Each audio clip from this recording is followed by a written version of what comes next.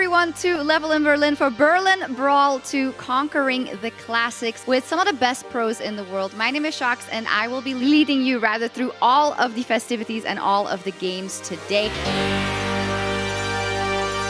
Thank you very much, Shox, and this is the Caster Desk. My name is Kagel, and joining me today is Celtic Tiger.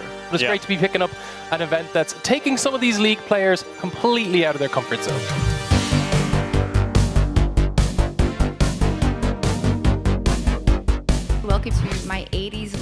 I uh, feel completely at home here with all these old school elements. So that's going to be the backdrop for all of the interviews today and also where I'll be talking to the winners of the games respectively.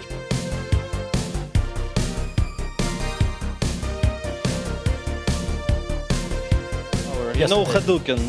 I know Hadouken now. I know the Hadouken, so I know Perfect. little I think that's all you need to know. Well, apparently we're ready to get into the game, so let's get straight into it.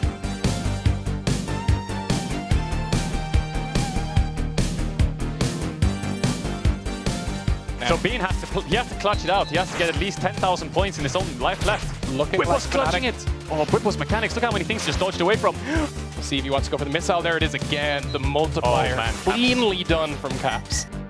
How did you do it? It didn't look like you've never played the game.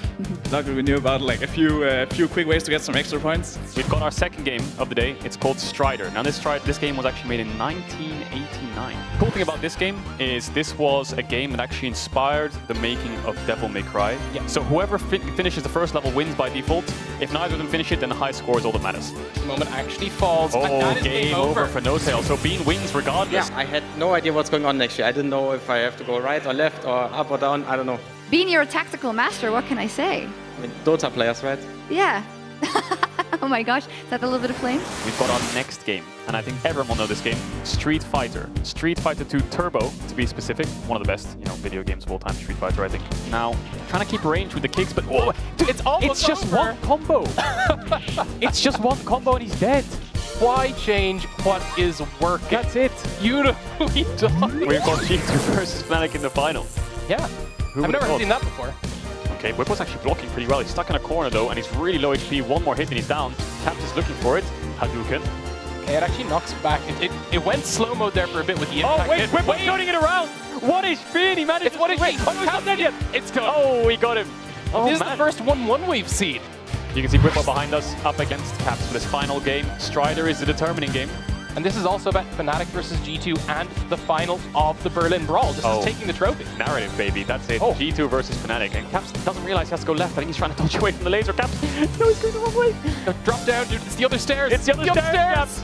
Okay, One HP, one. HP, and he has to restart the boss. He needs a few more hits to take the boss down. Once he takes the boss down, he wins the entire He gets challenge. it.